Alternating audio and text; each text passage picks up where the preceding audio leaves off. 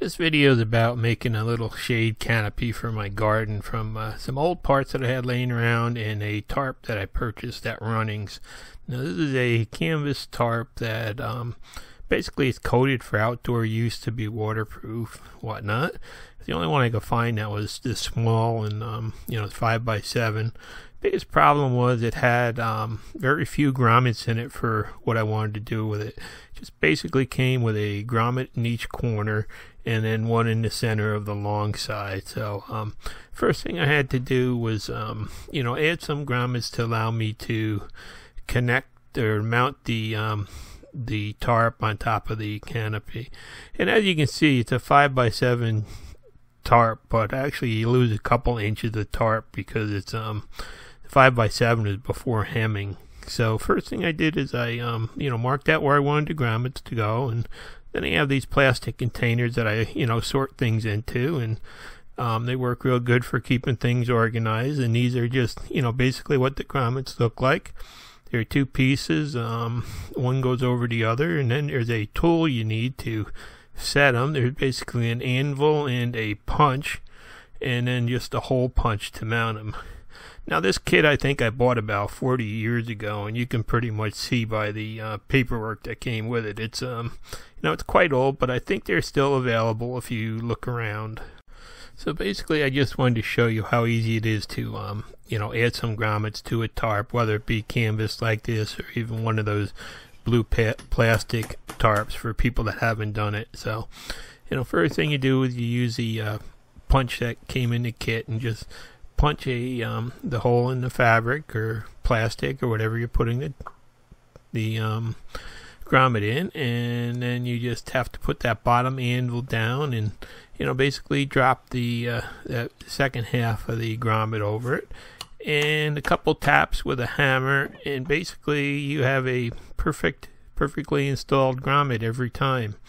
You know they're real easy to put in and um, uh, they're really super cheap to buy too. The um, things I think these are only made out of um, brass plated tin, but you can also buy some for um, marine use that are made out of brass. So you know you may want to just watch what the material is depending on the use that you're going to use them for.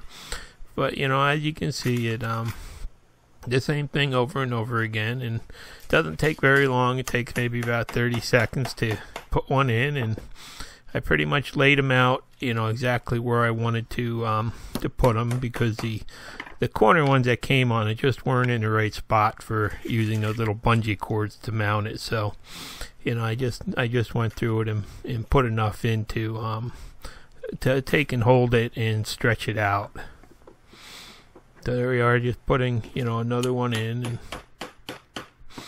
they all, you know, I've never had one go bad on me with the tools. So they, you know, they really do go in there nice and easy. And, you know, you can see them kind of have them spaced out along the edge of the, the tarp now just to uh, make it more usable. And there you can see the ones I put in compared to the one that came in it. That one looks kind of ratty out and stuff. So, you know, I think the ones you add later are better.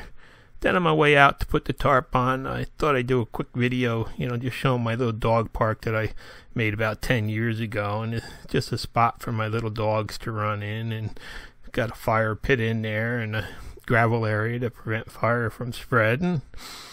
And, um, you know, uh, coming down the other gate, I actually have some plasma cut signs of my little chihuahua and my little dachshund that, you know, go in there. And, you know, it's just kind of, I just made this so our dogs would have a safe place to go out and run in.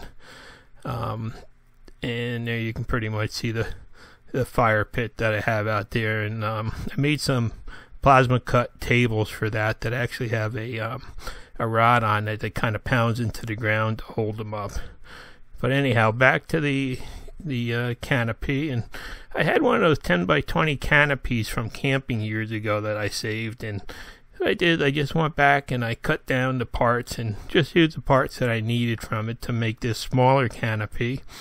And it's going to be mounted over a bench down by my garden when I'm all done with it. Um, I needed a place to be able to get out of the rain and um, sun So I decided to do this and you kind of see where I put some screws in where everything went together. The original one didn't have screws, but I just decided to, um, you know, add them to hold it all together. So basically, the um, that tarp just spread, you know, just kind of gets uh, spread spread over that top bar, and then it just gets pulled tight around the edges. I picked up two jars of these uh, canopy um, ties. They're like a little um, little ball with a uh, little stretchy type cord on them. And luckily, I got them at my dollar store, so they didn't cost me much. But I, um, know, I just proceeded to go and put a um, one of these little stretchy bungee cords in each of the grommets that I just put in the tarp. So, um, you know, I would kind of allow it to stretch out nice and tight and um, not sag from the wind or the, the rain or anything else. And like I said, I was just looking for a little shelter to um, to be able to get out of the sun for a while. I have a bench down there that I'm going to put it over. And also, if I'm stuck down there in the rain, it um it, sometimes it takes too long to walk up to the house and you get soaked. So I just you know thought this would be a good idea. It didn't take too long to make. You know, just cut down some of the framework and um, took a quick can of uh, yellow spray paint and just went over that and you know basically it came out pretty good and I just thought I'd show you you know just how easy it is to um to put these uh, little grommets in the in a tarp um, be it you know canvas or the plastic or whatnot just to make it more usable for projects And there you can see basically, you know, how it came out. And, you know, another one of those little quick and easy um, projects where I'm just recycling some old tubing from an old frame that uh, would have otherwise gone to the junkyard. And I just thought I'd share. I mean, it's nothing fancy and it's, you know, nothing really big or anything, but it'll serve the purpose um, once I get it moved down by the garden. I just thought I'd, you know, just show how easy it is to add some extra grommets to a low-cost tarp to make it more usable. Thanks for watching. Please subscribe.